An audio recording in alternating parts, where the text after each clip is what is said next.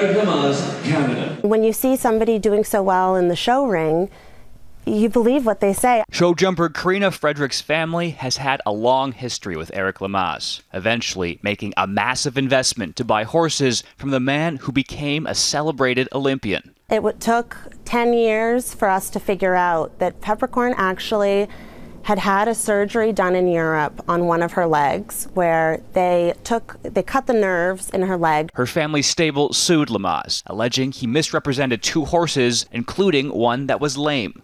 Lamaze denied wrongdoing and sought to adjourn, arguing his treatment for terminal cancer prevented him attending court. He faced many other civil lawsuits. And Lamaze had already been sued in Ontario. He was also sued in Texas, and he faced more than a dozen lawsuits in Florida. Now, some were settled, others dismissed on jurisdictional grounds or because court staff couldn't find him. And when he did respond, he denied wrongdoing.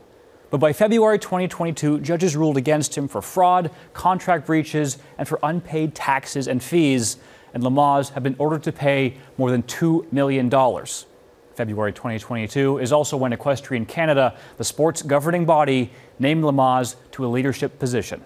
Some cases were also dismissed voluntarily with prejudice or through case management. He became technical advisor and led the national team to several top 10 international finishes, a year later, they announced he wasn't returning, citing his brain cancer. Emails submitted to court from 2019 show his then lawyer argued Lamaze couldn't appear because he is fighting for his life against an aggressive brain tumor. But footage appears to show Lamaze competing then.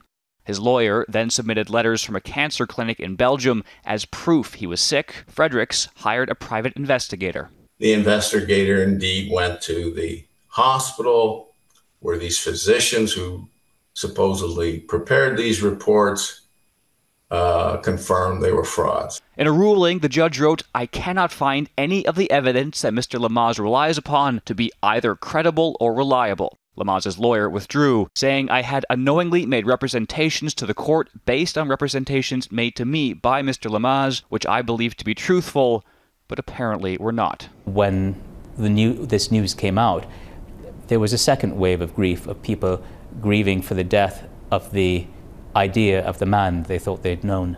Equestrian Canada says it does not research an athlete's or staff member's personal life, non sport related business dealings, or horse sales. Global News contacted Lamaze. He said some of the lawsuits mentioned are inaccurate, though he did not explain and had no further comment. Lamaze told the Toronto Star he had cancer and the letters were submitted by mistake.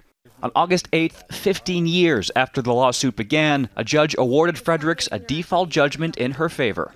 Lamaze did not put forward a defense. It's important that people know the truth and don't be blinded by accolades and the allure that comes with that.